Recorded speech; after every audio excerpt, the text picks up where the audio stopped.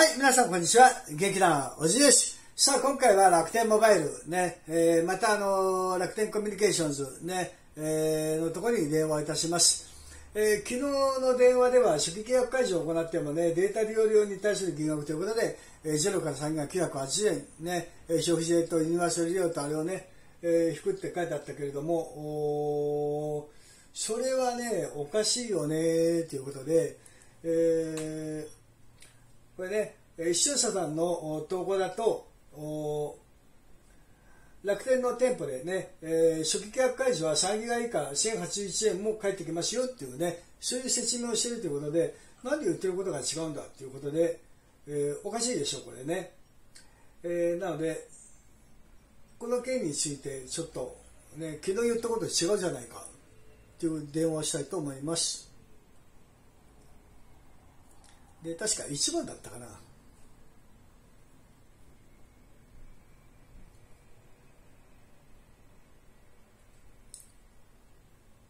発信。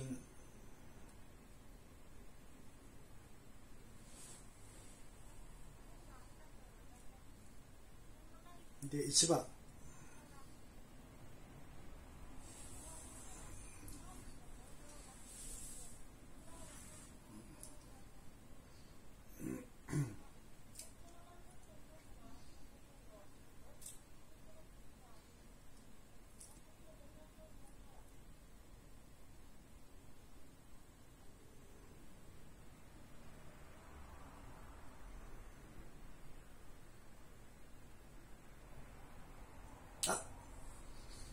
はい、えーと、ちょっと一点質問があります。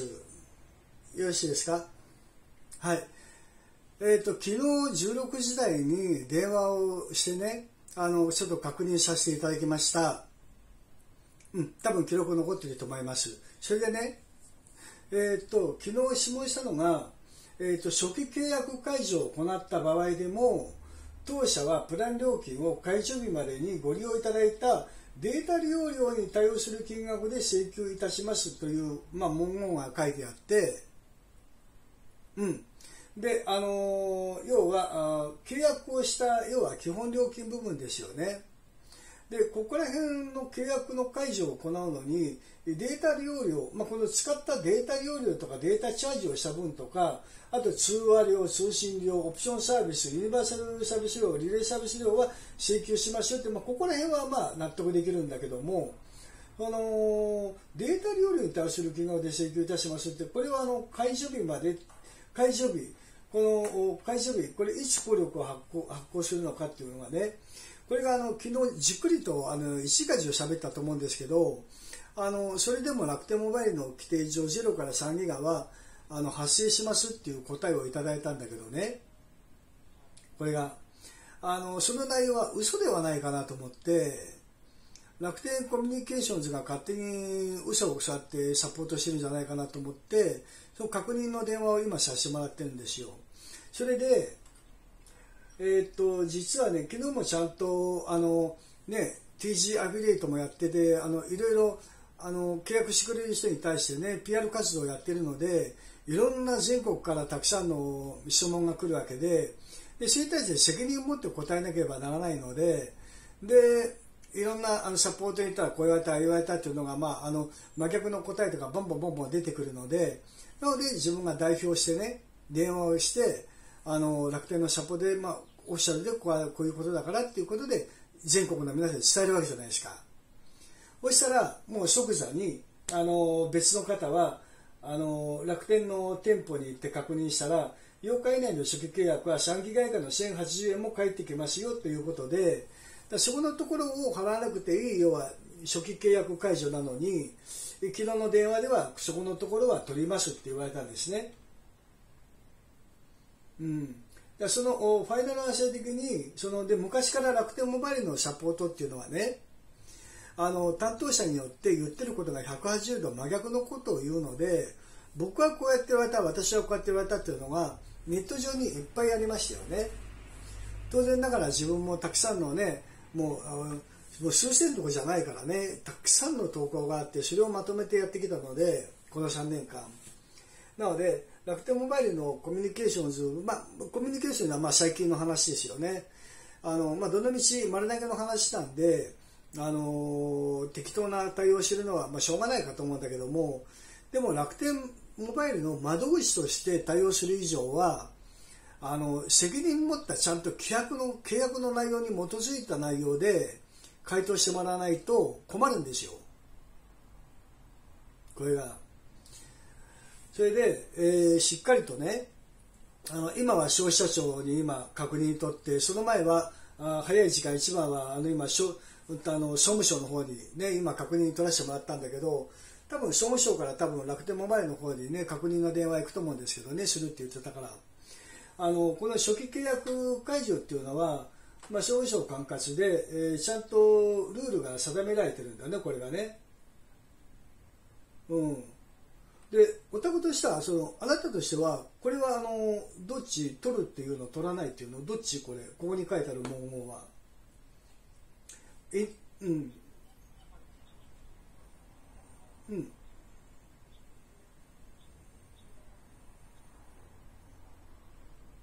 そう確認したいんですよ昨日昨日確認したけどその確認の内容があのこれが公式な内容ですよって言ったら今度真逆の内容が出てきたので店舗ではこうやって言ってますよっていうことで。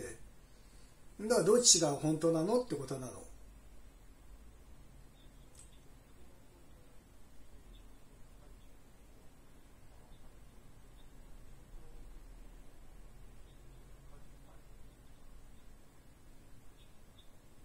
違います。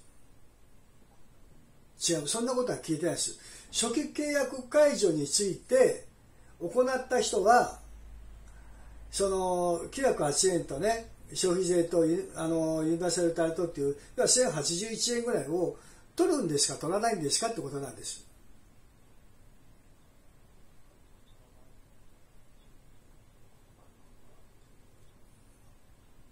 そうです。そうです。でまたあのまして昨日のね多分残ってるとするならば例えば物理シムなら物理シムでここにね今も手元にあの何も開通してないその名刺のサイズにまだはっついたまんまの状態で開通もしていない SIM があります。なので開通していないので電波も飛んでいないんです。で電波も飛んでいない状態で荷物を受け取ると要は開始日とみなすっていう、まあ、おかしなことになってるでしょ？要は利用料金が開始になるのが楽天モバイルのシステムでしょ？でそこのところでその利用開始して0.00だったらあのまだしもねその利用電波が飛んでいないものを利用としてみなすのかってことなんですよ。でましてやあどうして初期契約解除があるのかというとプラチナ回線じゃないから電波が届かなかったとか使い物になれなかったとか初期契約解除はあの一方的に契約を解除できる理由関係なしで解除できる制度であってじゃあ電波がうまく使えなかったからやっぱやめたいっていうね、まあ、昔の他のところだったら違約金が発生するけどもこれを使えば発生しないよ契約をあの白紙に戻すことができるできるよっていうクリーンオフと同じ効力を持つ制度なんでね。そこのところでその契約をを要は白紙に戻すのに白紙に戻って存在しない要は契約に基づいて980円払うって昨日の説明はやっぱおかしいと思うんだよ。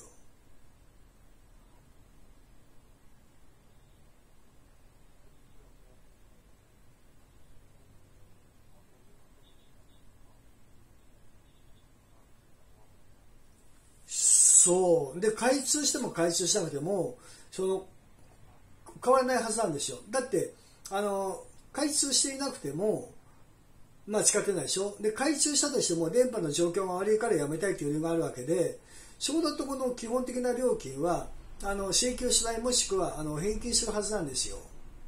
これが初期契約解除で昨日のあの内容だとあの何度も確認したけどもねあの要は初期契約解除をしても要は利用料金の980円に消費税とユニバーサル利用とリレー料がかかってきますよでその他、まあ、通話料とか定あの定額オプションとかもしくはそれは当然あの請求しても、まあ、これは分かるんだけどあのその980円のやつはねこれはもうあの請求するしょうがないって言ってたんだけど念をして聞いたけれどもじゃあそれだと解約したのと何が違うんですかってことなんですよ。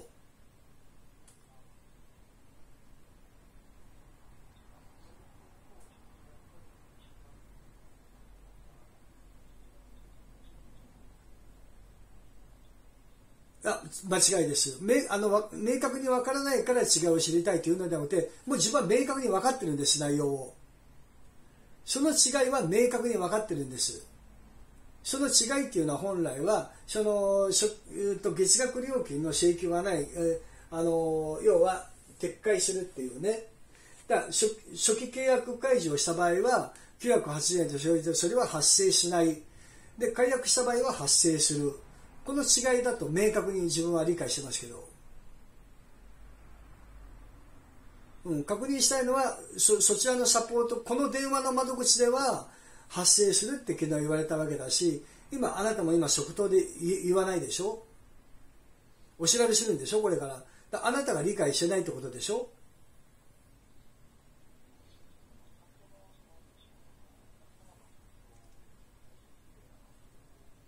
お客様の状況じゃなくて、ここは何の番号なの？ここは何の問い合わせの番号なの？それも理解してないのあなた。この番号は何の番号言って？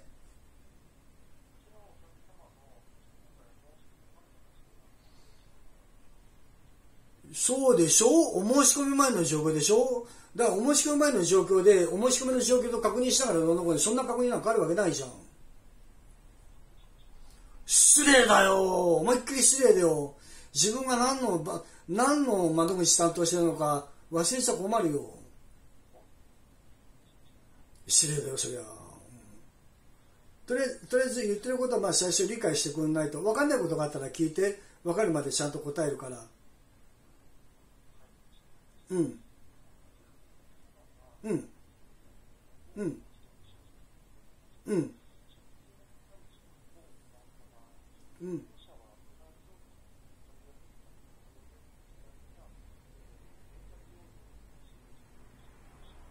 うん。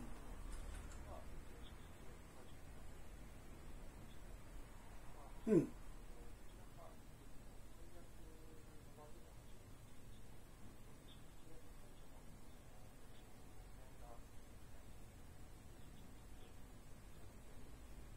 いや、違います、違います、違います、違います。よ。あの、ニュアンスが違います。あのね、あのね、あの、解約の場合は利用料金が発生する、初期給の場合は利用したデータ量が発生するで、ではなくてね、あの、その、あの使用したデータ利用量に対応するってこの使用したデータ利用量っていうのは使用したとしても電波が悪かったって使用したとしても発生しないんですよ。あのね、初期契約解除って初初期の8日以内のっていう意味なんで初期は。初期イコール8日なんです。で、契約って何の契約だと思います？答えられます今パッと。うん、あの何の契約か分かります？この契約解除の契約って何の契約か分かります？そう、そう、プランの契約なんですよ。プランの契約イコール回線の契約なんですよ。その契約を解除するんですよ。わかります？その、わかるそのプランの契約を解除するんで、プランに基づいた何ギガまでいくらですよっていう、その請求は使用もしてないデータで、このご利用になったデータって例えば3ギガ超えていっぱい使ってる人がまだわかるけど、追加料金で。でも通常はご利用になったデータ量って言っても使え使えなかった遅かったとかねあの電波が立たないとかねそういうのがあるわけでしょ？でそういうための要は白紙撤回の解除契約を解除するんですよ。そのプランの契約を解除してるのにそのプランに基づいた請求が発生するわけないでしょ？これこれが初期契約解除の内容なんでしょう本来の。消費者センターが配布してる内容をちゃんと目を通していると思うけどね皆さん。対応している人は。わかる？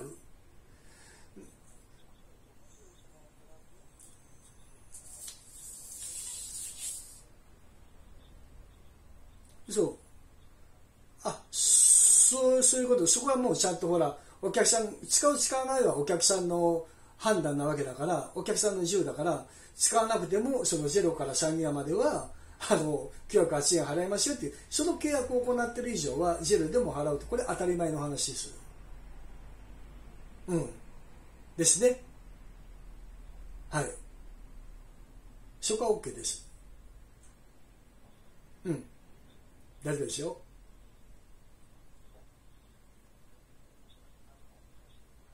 うん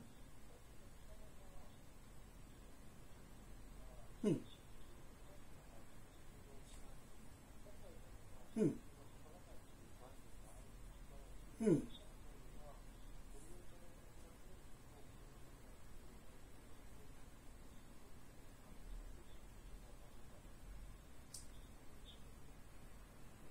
えー、っとね、ちょっと違う、ニュアンスが違う。えー、っと、データ利用に対応する金額で請求いたしますが、これは合ってるんですよ。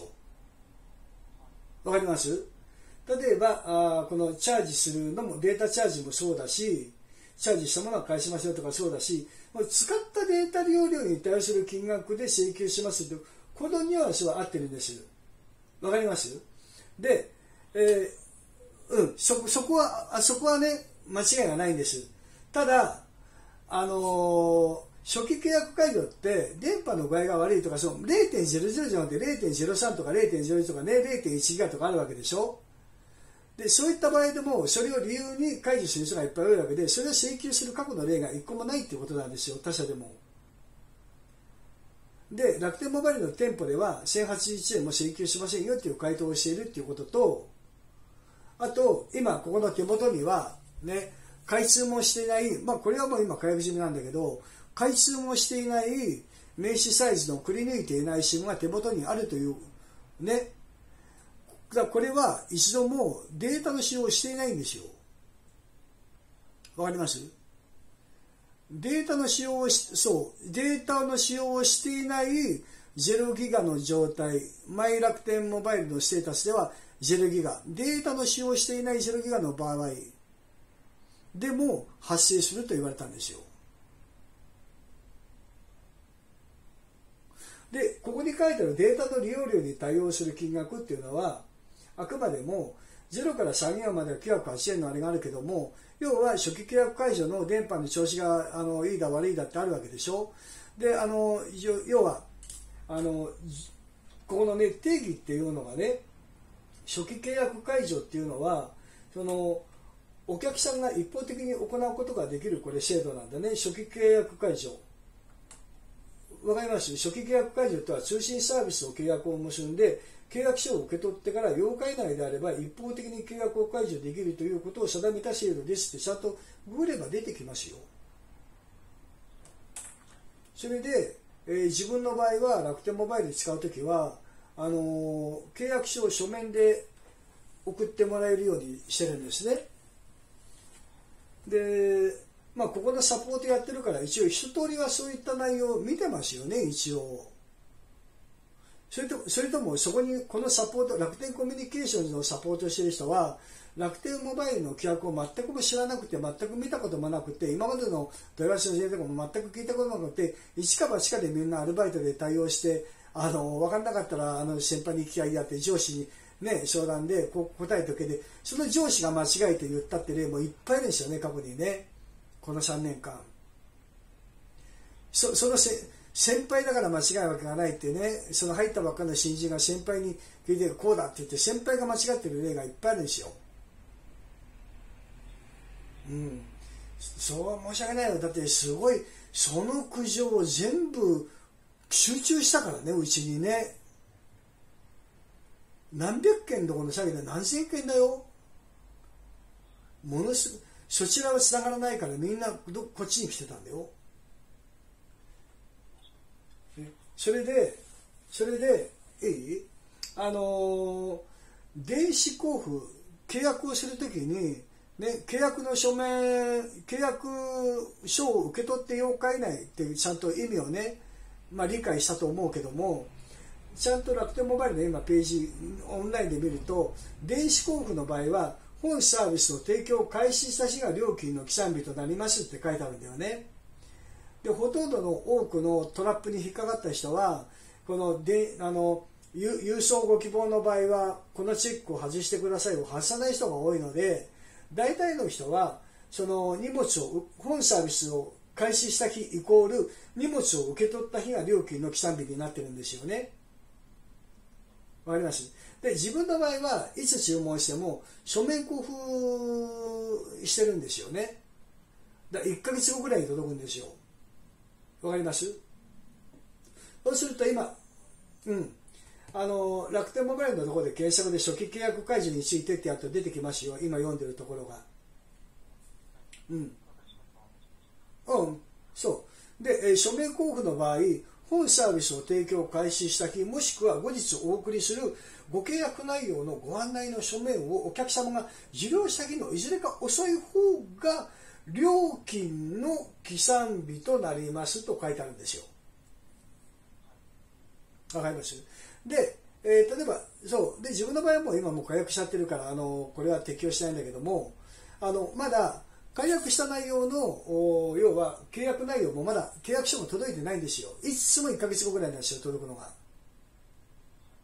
なので、えー、一応ね、このルール上は、その、普通に検索して出てくるね、契約、初期契約解除っていうのは、契約書を受け取って8日以内なので、うん。なので、えー、まあ、電子の場合はもうその場でっていうのがなっちゃうんだけども、要は書面交付の場合は1ヶ月後に来るあの書面、ね、そっちの方が遅い方になるわけなんでその書面が1ヶ月後に届いた日が料金の起算日になるんですよ。でそれが届く前は料金の起算日前なんですよ。わかります？うん。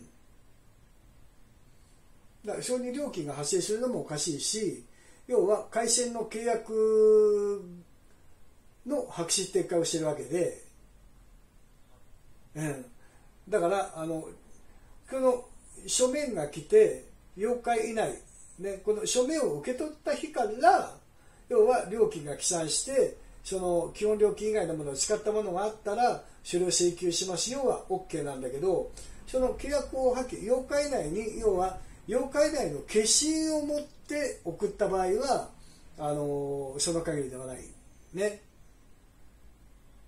でしょ？だから昨日昨日の言うねあのこの手続きをしても981は最低限あの発生しますっていう案内はこれは嘘ではないかっていう。で昨日もちゃんとそういう T 字アフィリエイトやってね、ネットでこうやってあの募ってるので全国から皆さんからの、ね、質問がいっぱい来るので代表して質問してるんですって。であの大丈夫ですよファイナルアンサーですねっていうことで聞いて大丈夫でございますってことだったんで。ね。でもこれ初期契約解除の内容ここの楽天モバイルのこの内容から見てみても昨日のサポートの内容はおかしいよ。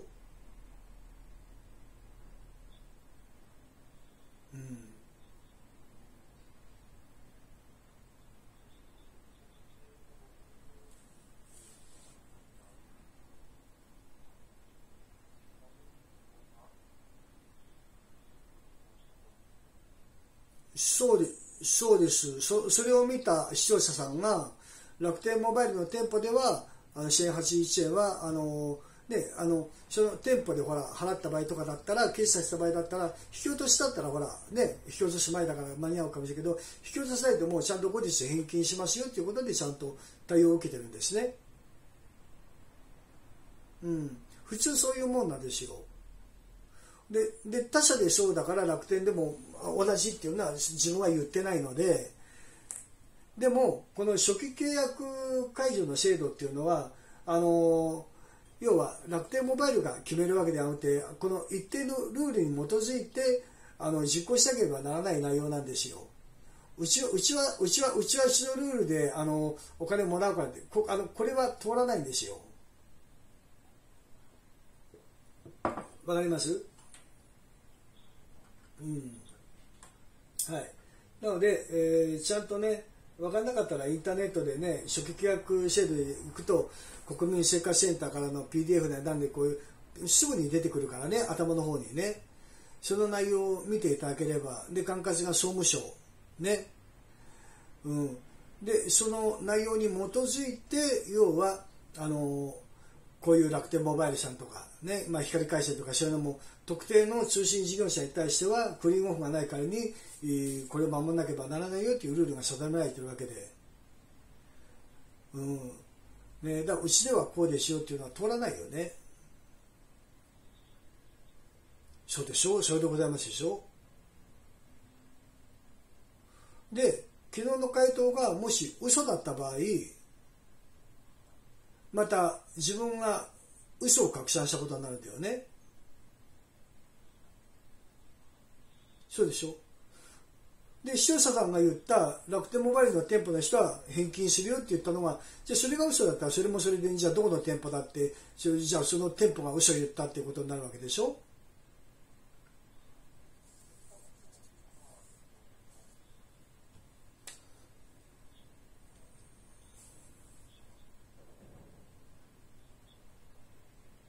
そうですね。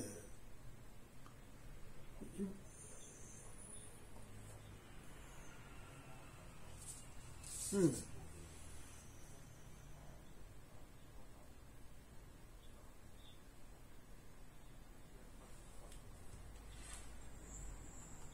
そうもう一度確認したいというかその前にあの楽天モバイルさんのその処理をする人が初期契約解除という制度の意味を理解していないのではないですかってことなんですよ。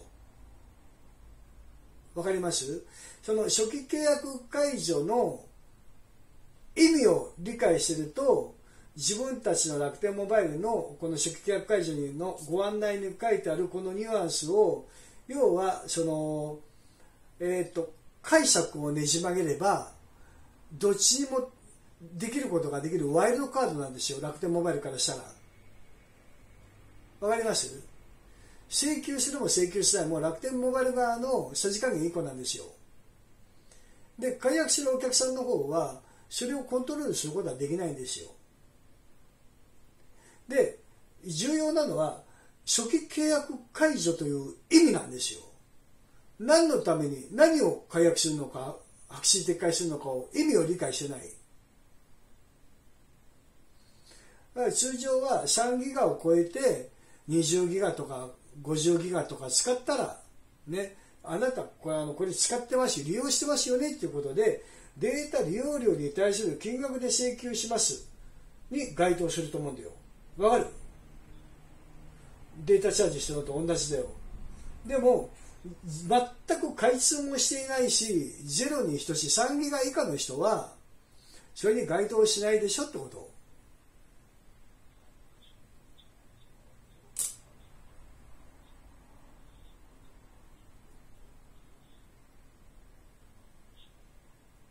うん、そうあとゲーム中とジェルユーザーさんって言ったけどもあの実際に開通してみたら電波がねあの弱くて速度もないし近いものにならないエリアだったっていうことでそういう方はゼロではないでしょうね。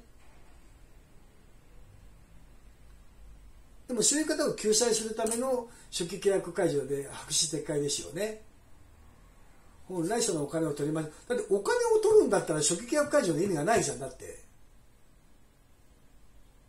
解約すればいいんだから。わかる？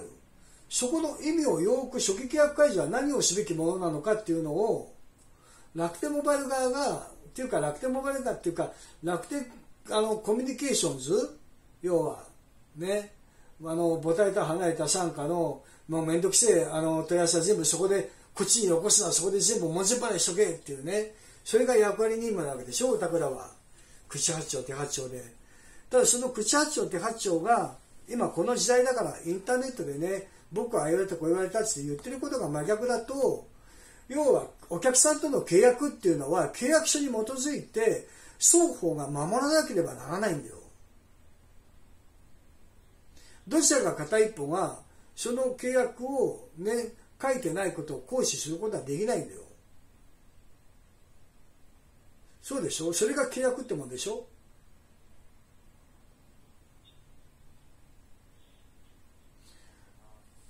うん。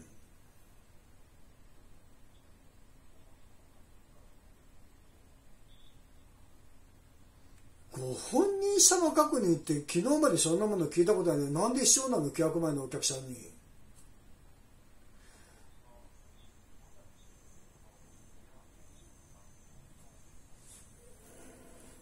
今出てるでしょ？そういうこと今出てるでしょ？数数でかけてないよ。あじゃあ万が一万が一切れてしまったらまたかけるから大丈夫ですよ。いつもみんなお名前言ってくれるから。うん。うん。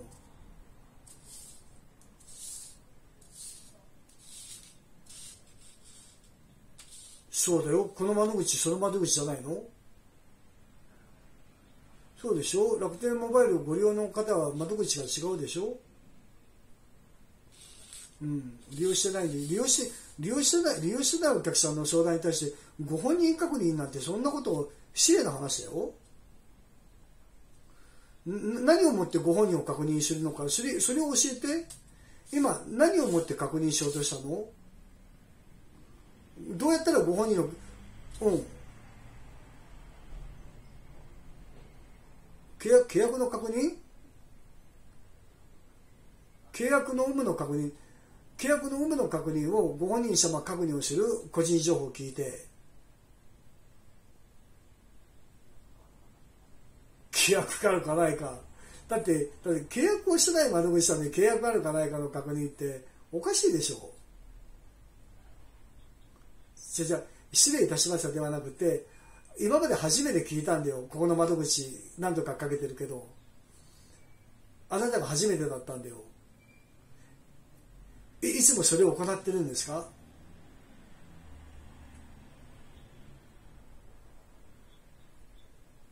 いや申し訳ない。謝ってくれって言ってるんじゃなくてあなたはいつもそうやってあのかかってきた人みんなにそうやって確認してるんですかってこと？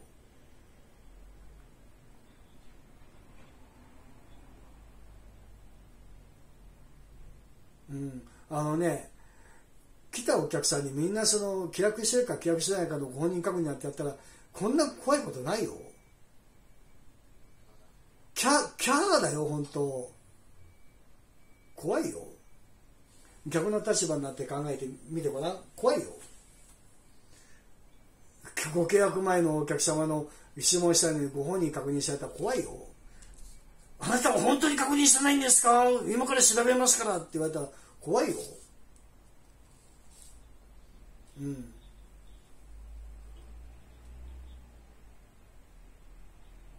うん。で今分かってないってこと？それはどうするとたただ上に行くだけなのでちゃんと楽天モバイルの方に確認をするってこと？ね。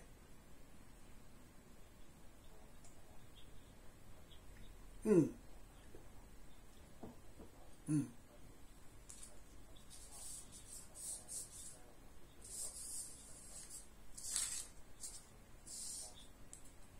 いや、ホームページ上、じゃホームページ上の記載上ではなくて、楽天コミュニケーションズのこの電話の窓口での回答でお金を取りますよって言ってたよってことなの。わかります？そういう、そういう解釈で対応してますよって、ここまで言っててわかりません。伝わってません。まだ言ってることが。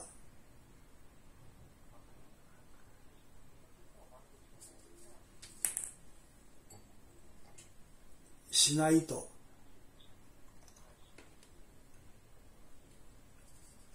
うん、返金しないという回答っても料金が発生しますという、あの一番最初からそれ言ってません？自分、記憶にないです？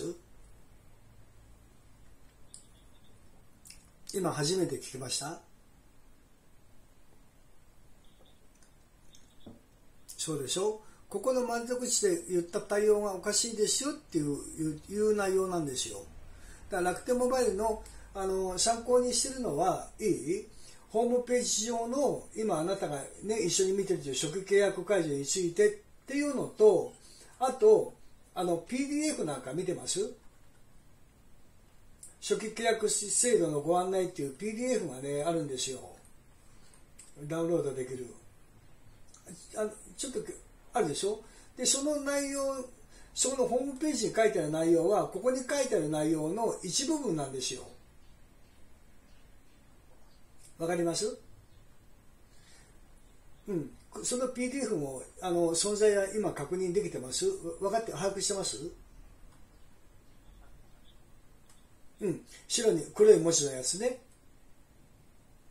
うん。あのー丸1番初期契約解除に伴い当社が損害賠償もしくは預金を請求することはありません。ね。2契約の解除に至るまでの期間において発生したプラン料金、括弧1オプションサービスの料金に通話料金並びに SMS 通信料、口座振替手数料、代金控え手数料、ユニバーサルサービス手数料、電話リレーサービスをお支払いいただく必要があります。該当お支払い額は本書に記載した額となりますっていうことなんだね。で、本書に記載した額。ね。で、この発生したプラン料金のオオプションサービスの料金。オプションサービスって分かりますよね。かけ法とか、あの、サポートのなんだかね、月500円のとか、あの、転送サービスは無料だけど、オプションサービスの料金って意味分かりますよね。うん。このプラン料金、米1はオプションサービスの料金、2は通話料金、国内、国内、並びに SM 通信料金に記載した内容となりますって書いてあるんですよ。これを請求しますって書いてあるんです。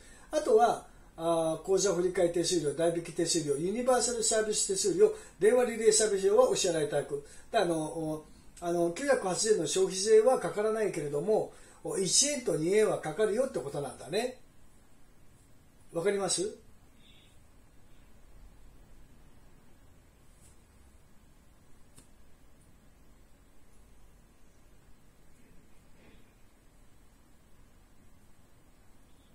うん、はいはい。うん、あの、わかります？って聞いて、今回答待ってるんですよ。うん、あのこの丸2番についてどうどう思います？今今答えてもらえてこの内容の意味を教えてもらいたいんですよ。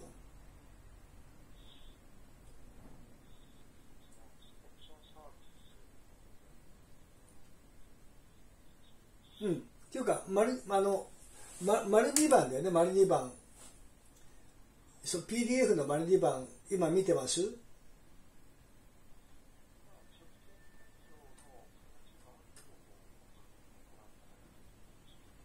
あそうですね。初期契約解除制度のご案内ってやつですね。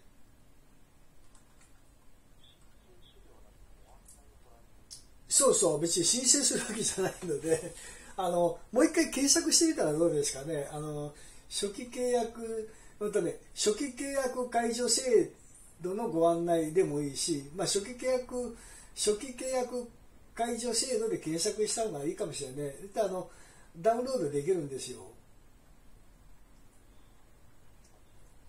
うんいいですよ。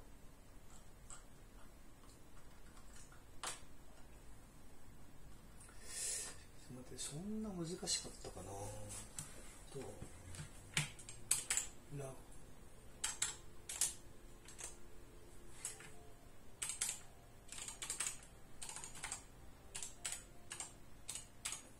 楽天モバイル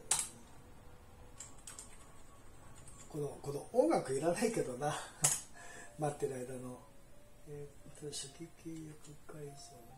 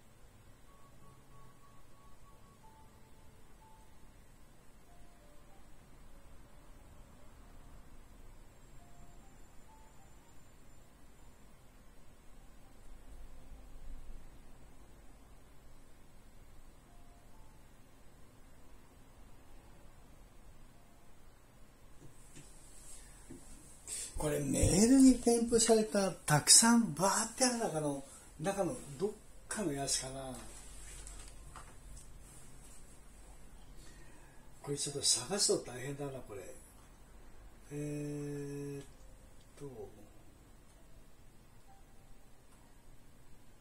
初期契約解消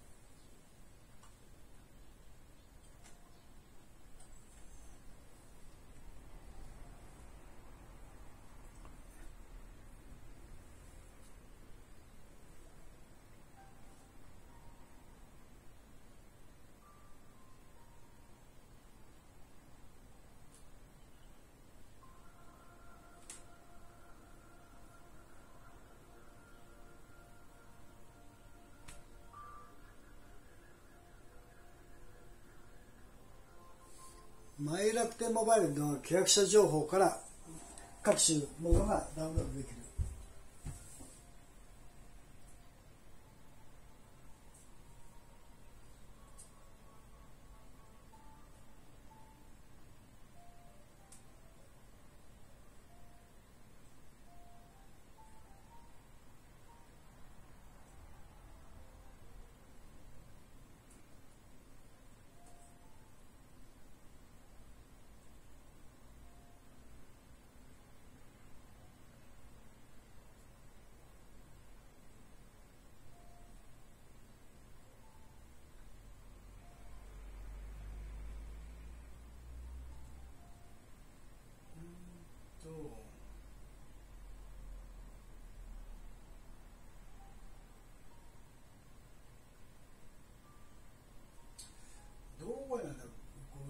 までの流れか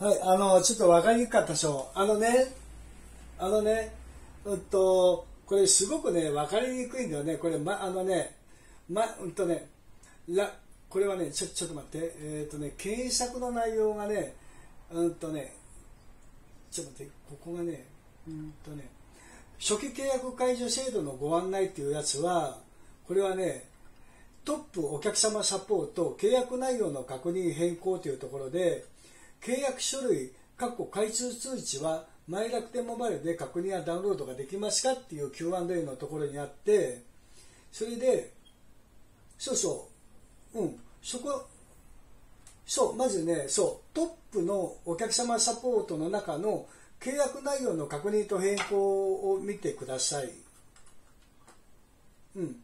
で、あ、あいた。こういったあのそこの黒い字で、えー、マイ楽天モバイルで確認ダウンロードができますかで、下の方に行くと、えっと上からご契約者様情報そしてその下にお支払い方法でお申し込み内容でオプションサービスご注意事項でその下に初期契約解除制度のご案内ってありますよね。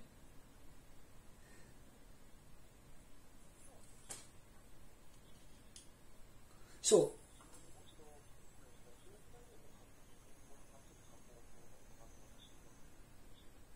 そう自分今契約そあのうん、うん。自分はだから今契約してないんですよ。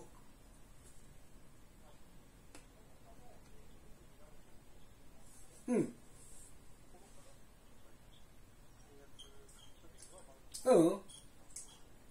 うん違います、えーと、そこのところからあのダウンロードができますよっていう案内があるのであのこの初期契約解除制度のご案内っていうのはあのそこのところからダウンロード PDF がダウンロードできる内容ですよということを今伝えてるんです。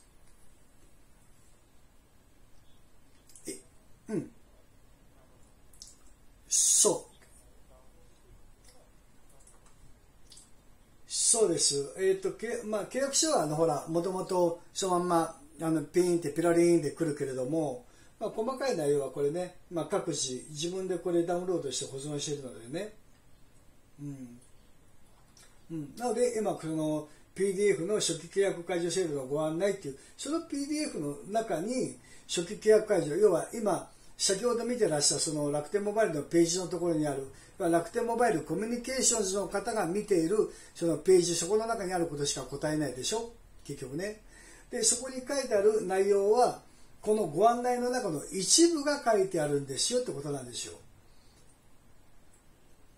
なのでそうなんですよ。なのであの楽天モバイルとお客さんの契約っていうのはあくまでもそこのホームページのところのあのお客 Q&A のところにある内容に基づいてではなくてあの契約した時にダウンロードできる契約書契約の、ね、確認内容。であの、P、その電子でチェックするか郵送でチェックもらうか、ね、その契約書であとはそれと別にこういう契約初期契約解除制度のご案内というのもちゃんとこれあの伝えなければならない義務があるからね。なのでこういったものを配布してるわけなんですよ。でであの契約前の契約なんかあの表だってパッパッパって見るのではこの一部だけをくり抜いて書いてあるので契約っていうのはそもそもこの初期契約解除制度のご案内というのでこの内容に基づいてこれが初期契約解除の要は契約書ではないけどもこれに基づいて行われるよっていう原本なんですよこれが。わかります？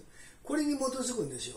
うん、だホームページに書いてあるのはこの一部ずつを抜粋した Q&A に過ぎないのでそれあの正式にはそれだけに基づいているものではないっていうことなんですよ。なので今あなたがこの初期契約解除制度のご案内の PDF を見ていただかないとここに書いてある内容を見れないっていうことであなたがこれを知らないってことは昨日の電話対応した人も他の人も全員これ知らないってことなんですよ。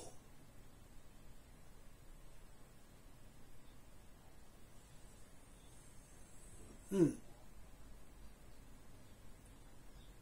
うん。うん。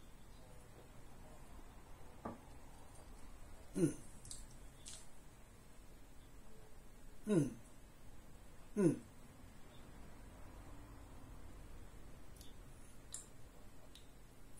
そうそう。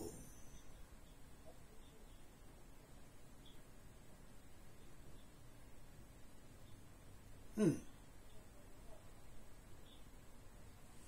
あそれはそれは赤い赤い字のやつかな？これは。あ赤い字？あ。あうん。うん。うん。あああなるほどね。ああうん。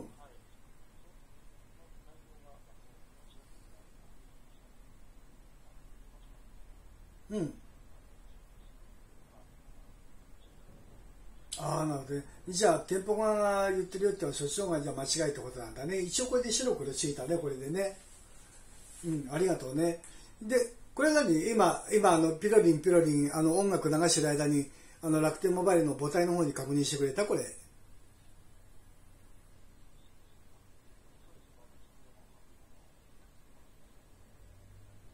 うん。うん。間違いない。それあの私の方で確認したというか私が判断した内容ではなくてちゃんと楽天モバイルの母体の会社の方に部署の方に確認して答えをもらったということで今連絡してくれて。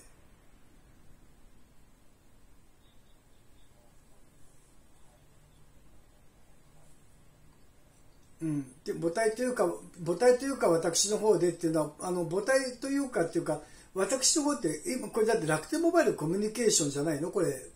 でここに書いてあるじゃん。だってホームページにこのダイヤル楽天モバイルコミュニケーションって書いてあるじゃん。楽天グループの子会社なんだって。楽天楽天モバイルではないじゃん。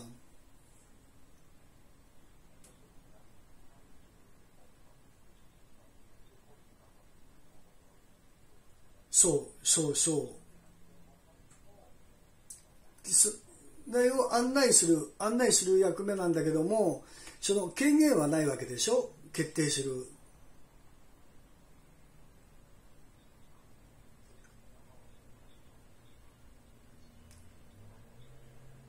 あそうそう確だその確実に間違いない確認を取りましたっていうのはそれはだから楽天モバイルのその母体というかちゃんとした担当部署に確認今取ってくれたってことね。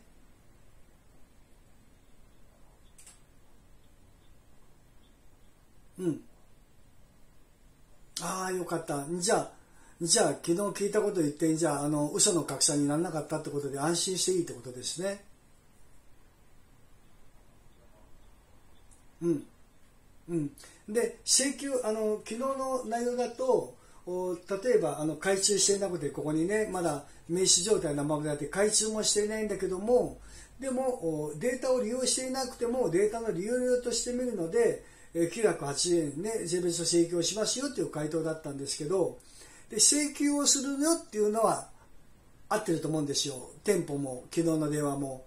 ただ店舗の場合は請求はしても返金しますよっていう話なんですよね。この初期契約解除制度を使った場合。でこちらの窓口では請求はしますよっていうのは答えは合ってると思うけどその後返金はするんですか？しないんですか？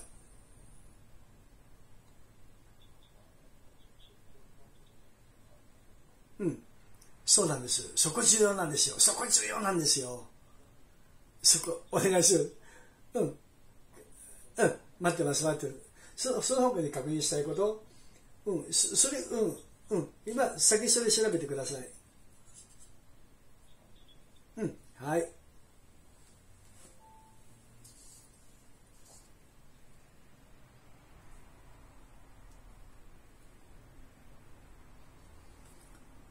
とかちゃんと確認してくれてるんだね。何度も何度も確認するとあれだからあの他にありませんかって一度に質問してってね。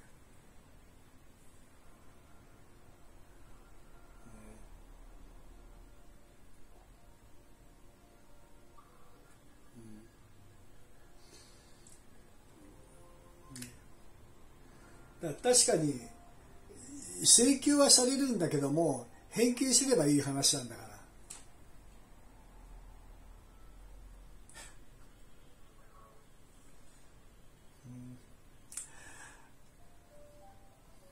でも結論的には請求しない。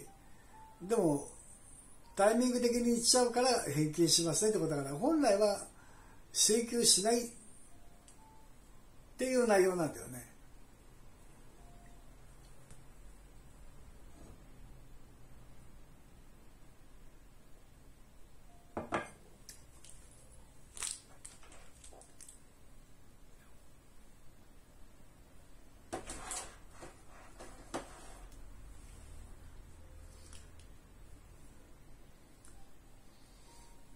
じいもじっと音楽を聴きながら待っている。はい。うん。はい。うん。えー、平気ない？本当？そうそうなんだ。いやちょっとそれ意外だった。本当に。じゃあえじゃあ初期契約解除を行ってもあの使っていないその利用料金980円とリレーサービスとユニバーサル利用が発生して請求されて返金がありませんよと。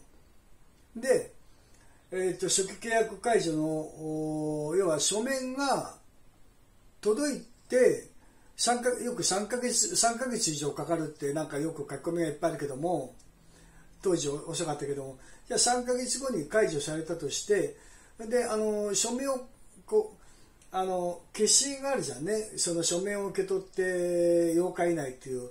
でその日付に遡って解除するわけでしょ？あの解除したのが要は契約を破棄にしたのが3ヶ月後の処理だとしても3ヶ月分その間請求されちゃうじゃんね。引かれてるじゃんね。でそっちの方は返金されるの？されないの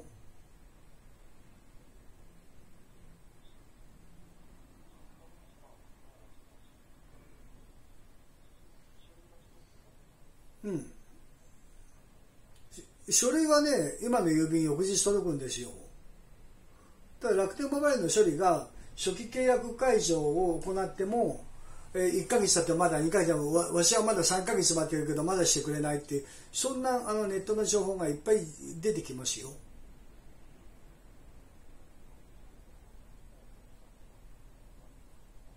そうされなかった場合に返金があるかどうかではなくて処理はされるんです処理がされると通知を持って処理が完了しましたって連絡が来るんです。で書類の不備があった場合はあの書類の不備がありましたということで訂正してまた送り直さなきゃならないんです。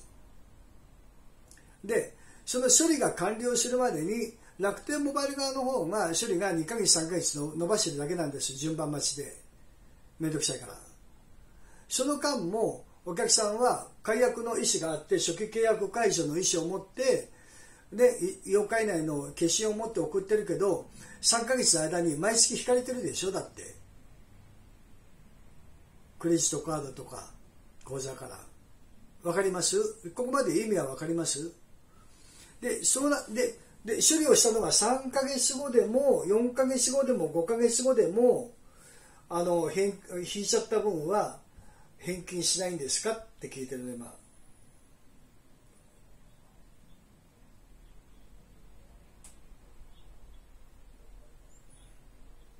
うん。そうそうそうそう。はい。うん今のとこないですよ。はい。はい。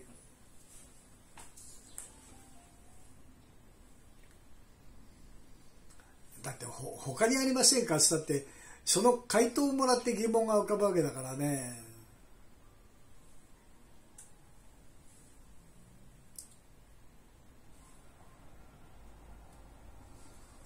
いやある意味すごい答えだなこれ。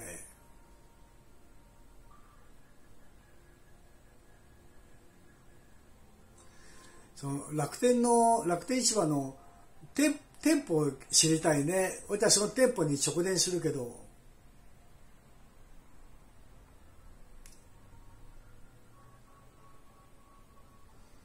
あ身近な店舗で書いてみるかな。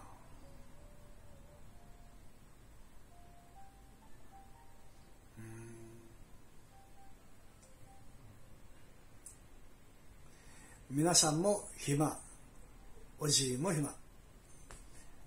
皆さんも辛いおじいも辛い。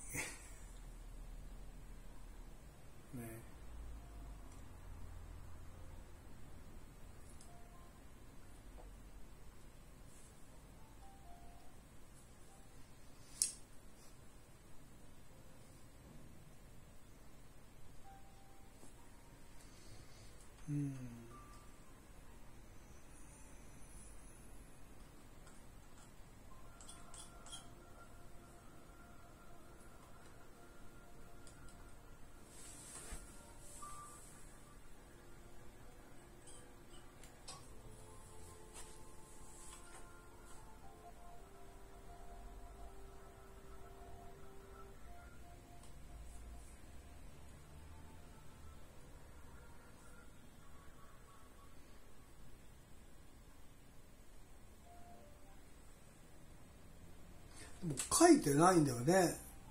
908円のそのプラン料金は。ご契ご契約の解除に至るまでの期間において発生した。だそそのその980円も取るんだったら解除するまで半年だったら半年分かかるってことじゃん。おかしいだろ。う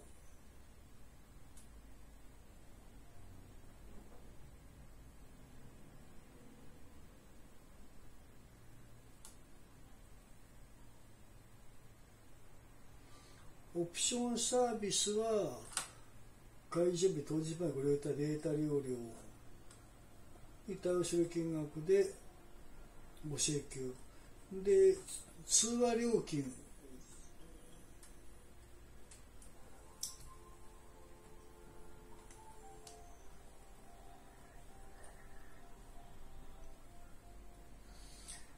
通話料金は開示日当日までの日割り分割分を請求させていただきました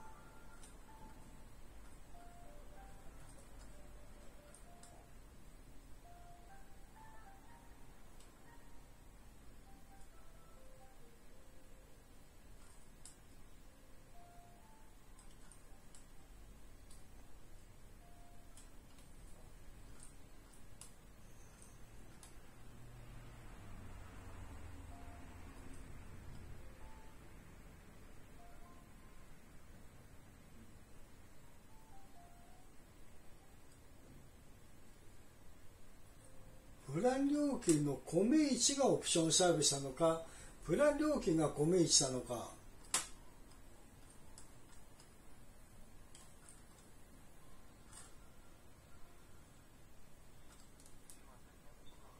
あはいはいうん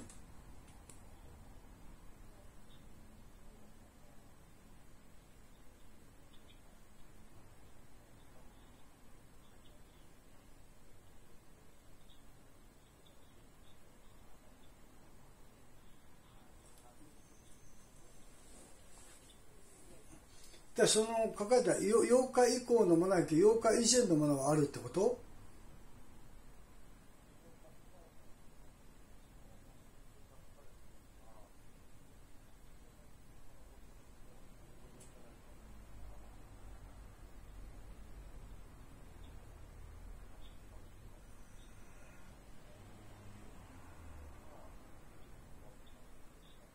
そう解そう解除そうそのねあの解除日っていうのが楽天モバイルが処理した日が解除日になるのかそれともその要はその8日以内の消しがあるよね。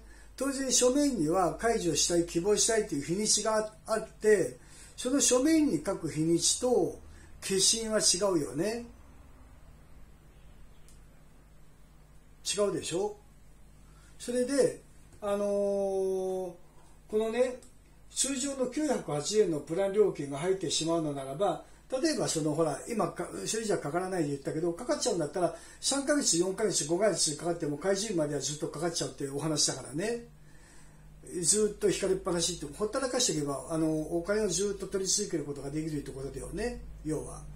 でそのその今言った 8, 8日以降はってこれ8日以降って書いてあるけどもこれはあの書面を受け取って書面が来るのがあの1か月後だよね。来るのが。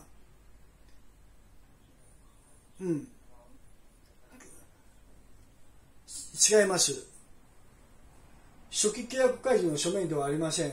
契約書です。うん。先ほど言った内容覚えてます。あので電子でレテンにチェック入った状態で電子的に申し込んだ場合と契約書を郵送するで選んだ場合違いますよね。その郵送する契約書がお手元に届いて8日以内に初期契約解除できるという権利を持ってるんですよ。わかりますよね？でその書面が届いた日から8日経った日以降は取らないって言ってるんです。それともその書,、うん、書類が届いた日ですか？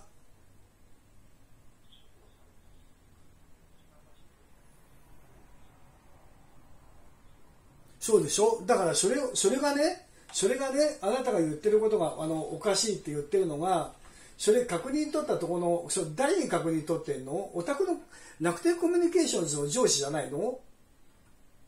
ちんぷんかんぷんの。頭の悪い上司じゃないの？楽天モバイルに確認してないでしょだっていい？だってあなたの言うこと言うと例えばだよ。じゃあ1月1日に申し込んでであの1月の8日にあの初期解除の申請をしました。でさっき言ったように楽天モバイルは解除するまで3ヶ月経っても4ヶ月経ってもしてくれない。遅いっていう処理が遅いと。じゃあ 5, 5, 5月の、ね、5月の10日に解除の処理をしてくれました。ね。あなたの言うことを聞いてるとじゃあ1月1日記録して1月の8日にね処理をしているのにじゃあ2月分3月分4月分5月分って処理をする5月10日の部分を毎月毎月引き引き落とすってことだよ。そんなもん初期契約解除でも何でもないじゃん。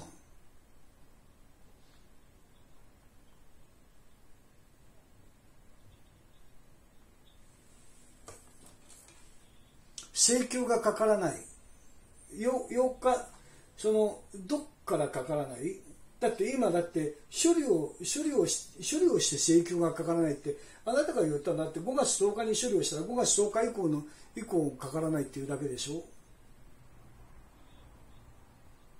じゃあ5月じゃあ5月10日まではかかるってことじゃん。そういうことじゃん。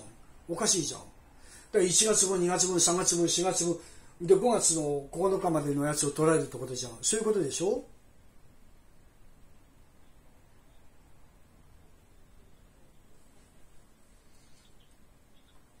そうだよ。そうだよ。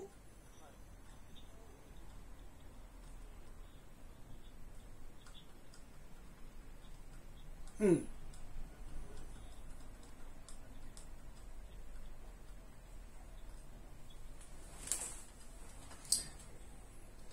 そその 8, 8日以内って今言うけどもいい？書面が届いて8日以内って理解してる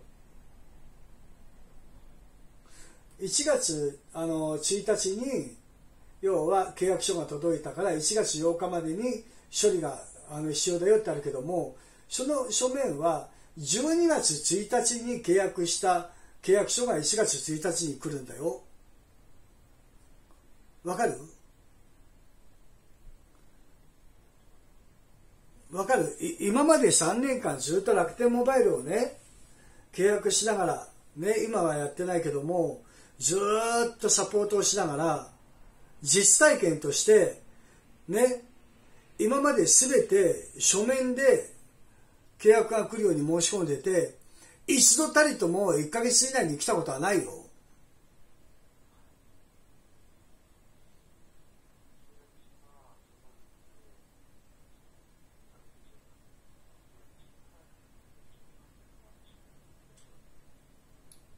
そうだよ。そうだよ。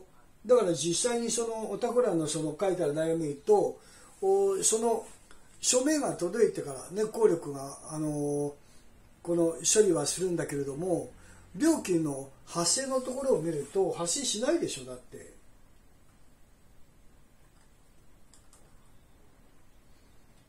うん。いいさっきのインターネット上で見るところの内容ねあなたがさっき一緒に見たのよ。書面交付の場合本サービスの提供を開始した日もしくは後日お送りする契約内容のご案内契約書だよねの書面をお客様が受領した日のいずれか遅い日が料金の起算日になりますって書いてあるの。起算日って意味が分かります？じゃあどういう意味です料金の起算日ってどういう意味です？そう適用される日でしょ？なので例えばね今言ったのが1か月後に書面が届くんですよ。わかります？だから12月1日に申し込んで1月1日に書面がやってくる。わかります？ね。そう。そう。そしたら1月1日が書面が届いた日。要はあのも遅い日だからね。が料金の起算日となるんです。わかります？存じ上げてるでしょ？じゃあ1月1日前のものは料金の起算日前なんで入らないんです。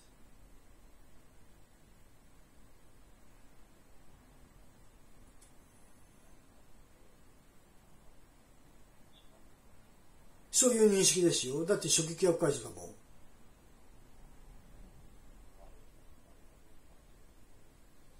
料金がかかるかどうかってことでございますねって言うけどそれを確認してくれてかかりますよ。で返金もしませんよって答えを今言ったわけじゃん。だからそれが公式な内容だったらあのこのこの内容を無視したルールですよってことですよ。その答えた人本当に大この内容でも本当さっきから言ってるけど全国の人たちがこれをアンサー動画として見るわけだから大丈夫ですか本当に。ささようでございましたけどあの発表はしないけどね最後に言ってくれると思うけどおなお名前は何？どこの部署の方？とりあえずそれだけ教えて。言わないから。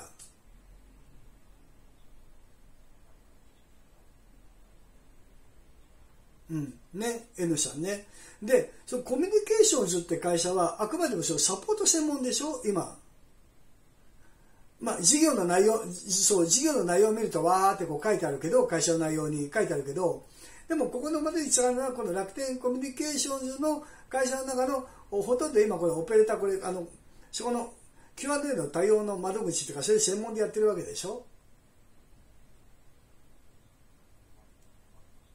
そうでしょ？ね、そういうあの会社の看板しようって一応楽天モバイルという看板をしようってやってるから一応楽天モバイルの公式な対応と同じ権限を持ってやってますよっていうことでしょ？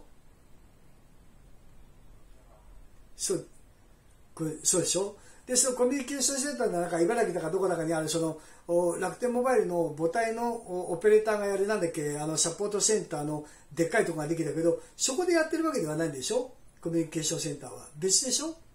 今までの吸収したところの場所でやってるんでしょ？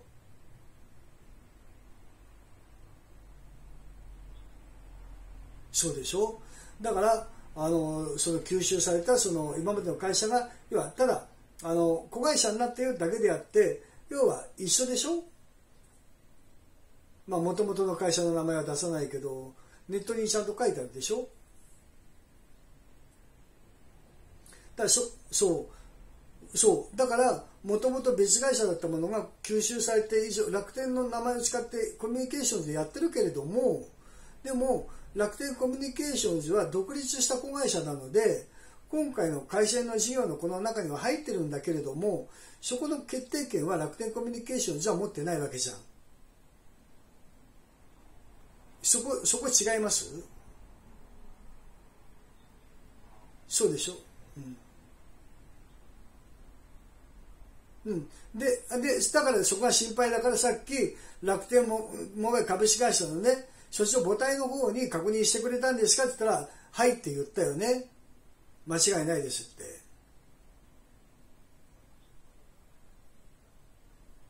うん、私の方でって楽天モバイルコミュニケーションズの中でってそこを心配して聞いたけどもなんでそんなに濁すの？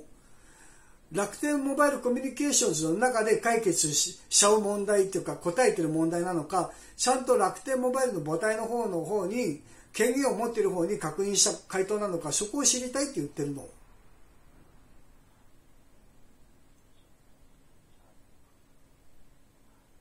あじゃあ大丈夫ってことね。じゃあその確認したのはじゃあ何という会社の何という部署に確認したのか名前言わなくてもいいからそこだけ教えてくださいよ。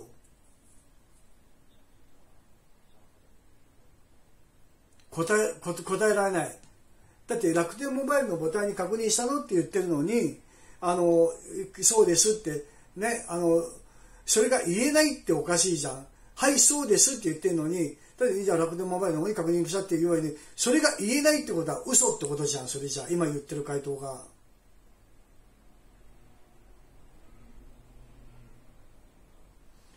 そこまで、そう。だなんで最初からそこまでお答えすることはできないって言わないで、はい、そうですって嘘つくの？だから、だから、こういうね、楽天コミュニケーションズが、ね、こういう嘘を言ってるから他の質問とか昨日の回答も嘘の可能性が高いでしょって言ってるのよ。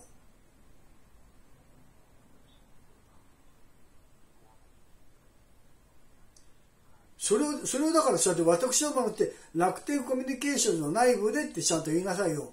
だから店舗の方は、だって楽天、楽天コミュニケーションの人間が店舗にいるわけじゃないでしょ？私のご説明が不足してるんじゃなくて何度も何度も言ってるけども、あなたが回避してるの？ごまかして。ご説明の不足ではなくて、嘘のことを言ってるんであなたが。騙してるの。わかる？楽天グループトップが腐ってごまかして腐ったことやってるから3個もみんな腐ってるんだよ。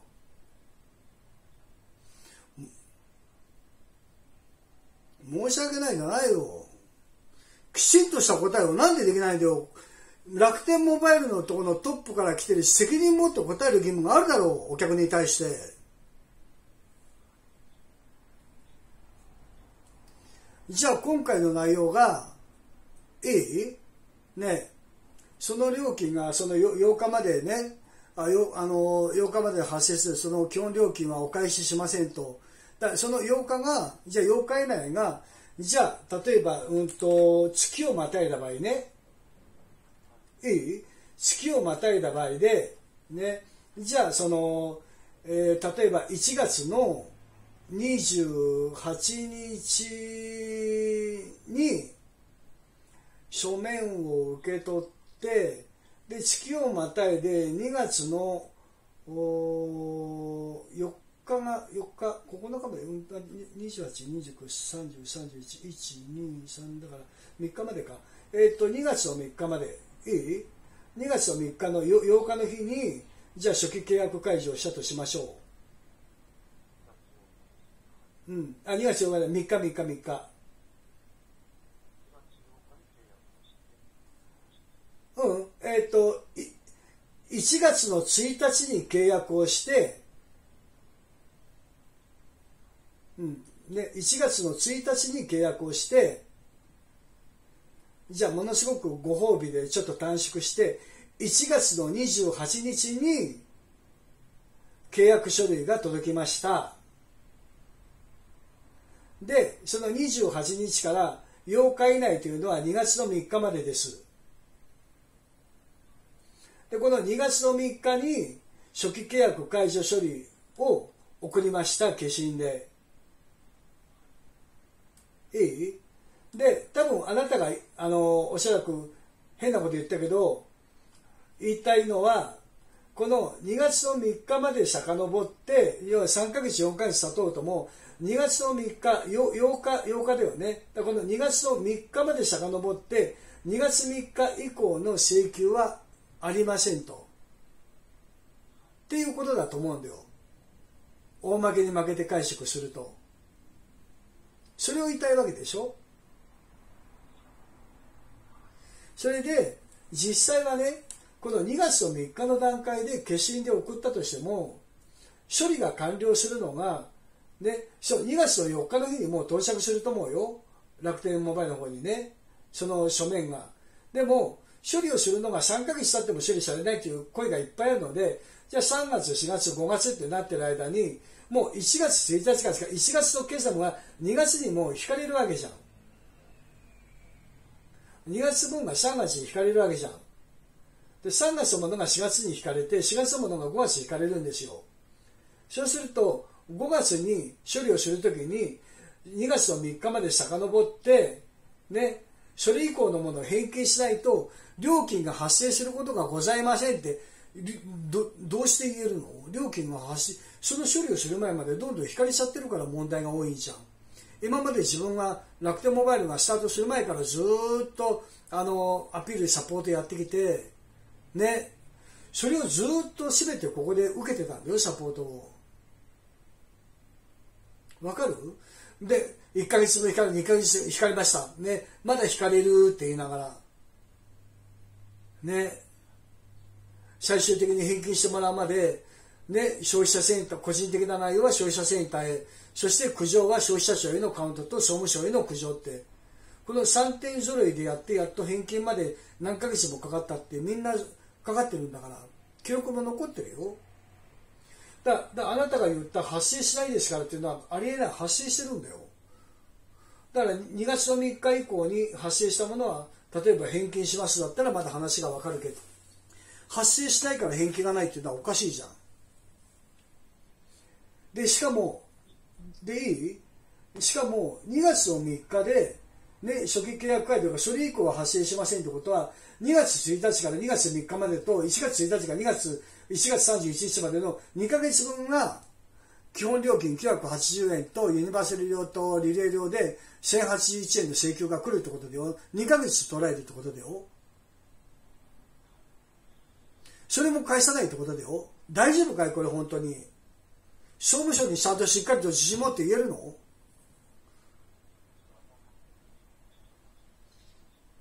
確認した結果を言ったんじゃないの？今まで。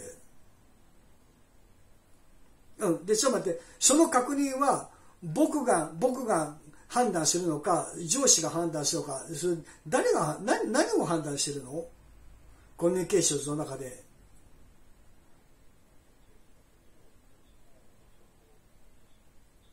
わたわた私がね、うん、わかりました。はい。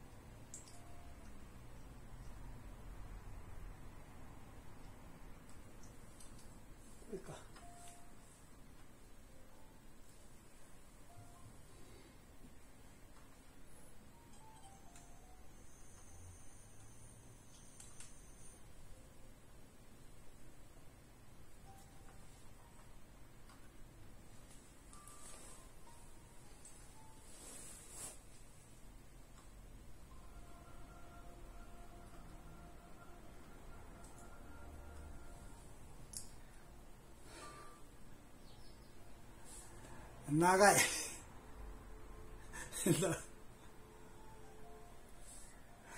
首痛くなっちゃうよ。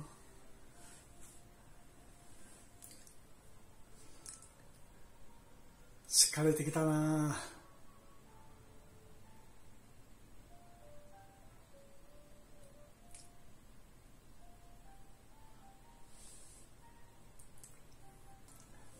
みんなもこれをずっと聞いててこないよ。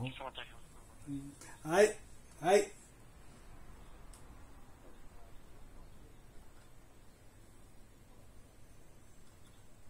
うん。えっ、ー、と、過去に実際に発生したケースです。うん。はい。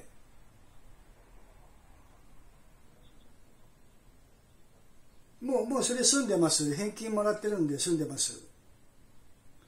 もう、もう振り込み完了なので住んでます。その件とはも別なんで、今回の内容はご契約前なんで、これから契約するので、契約前のお客さんとして問い合わせしてるんです。だ答えられないんですか？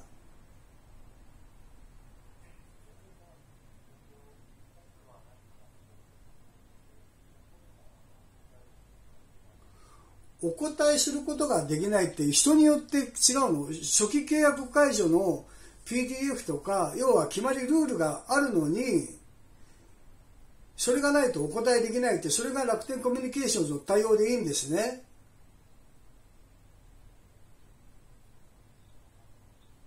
それはそれは N さんあなた個人の考えなのか楽天コミュニケーションズの会社としての考えなのかどっちです？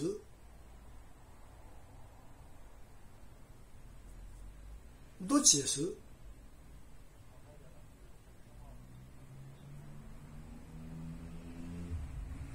発生していないものだと。何？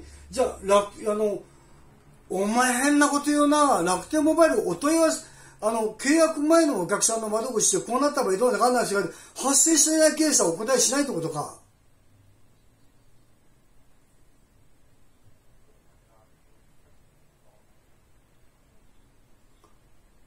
インターネット上での内容ではなくて、インターネットによって配布している、PDF で配布している楽天モバイルの規約の内容について確認の連絡をしてるんですよ。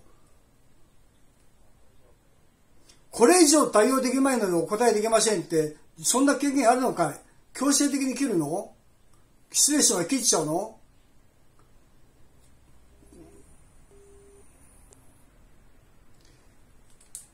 これがコミュニケーションズの内容だ。はい、じゃあ改めてね、ちょっと違うところをかけてみるよ。